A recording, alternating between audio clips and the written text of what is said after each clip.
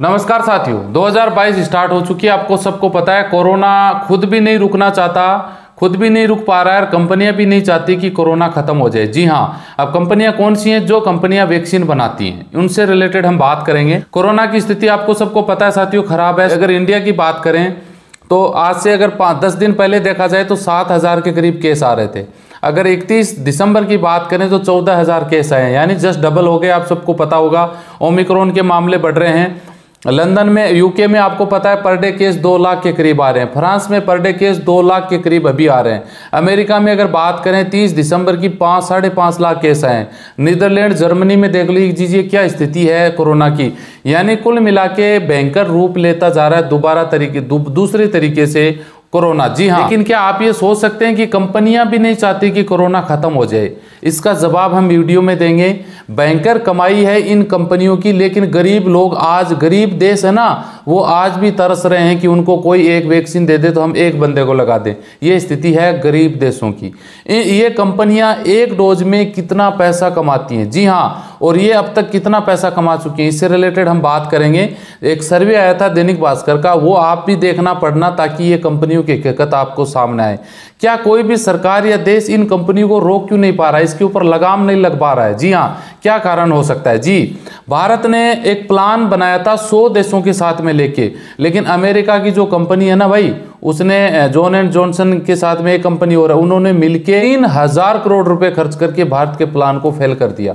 Vaccine से related plan था। जी हाँ सौ लोगों पे कितने डोज लगे हैं कौन से देशों में? यानी सौ लोगों पे कितने डोज मिले, कौन से सरकार कौन से देशों में? उससे रिलेटेड बात करेंगे।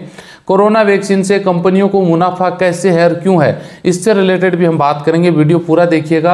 अच्छा लगे तो भाई लाइक शेयर करिएगा। चैनल ज़रूर सब्सक्राइब करके बेल आइकन ऑन कर लीजिए। फेसबुक पेज वाले पेज को फॉलो करके रखें ताकि हर रोज आपको विदेश से रिलेटेड नई नई अपडेट मिलती रहे। तो चलिए शुरुआत कर लेते हैं। स्क्रीन पर आप भी देखते रहिए। अब देखिए साथियों, यहाँ से कंपनियों की शुरुआत हो जाती है। पचहत्तर में एक वैक्सीन तैयार होती है।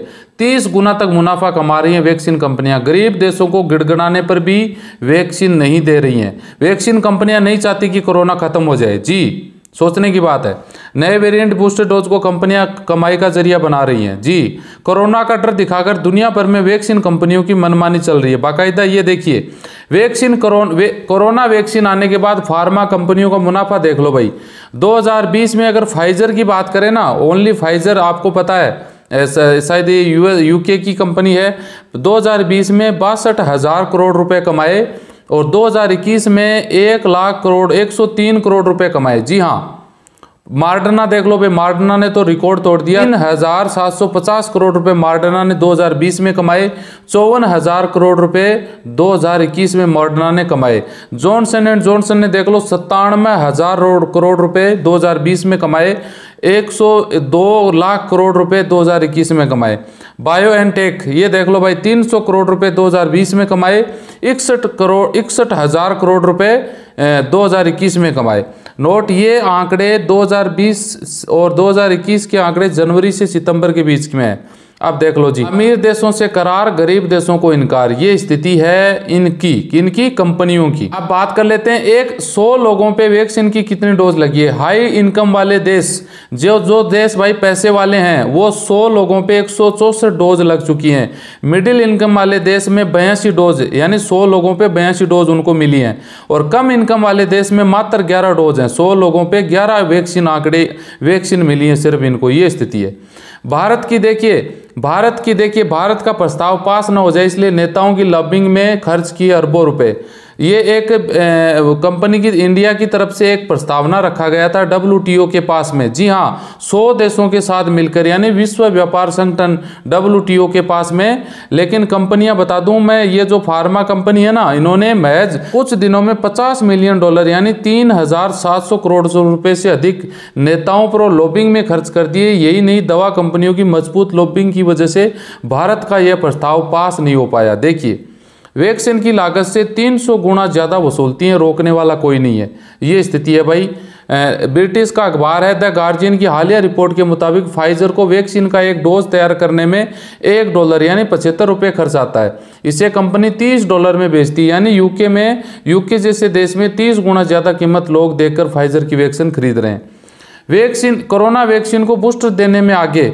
जर अमेरिका में बूस्टर डोज लगे हैं छः सौ साढ़े छः करोड़, यूके में तीन पॉइंट दो करोड़, जर्मनी में तीन करोड़, ब्राज़ील में ढाई करोड़, रूस में छियासठ लाख। जी हाँ बूस्टर डोज लग चुके हैं।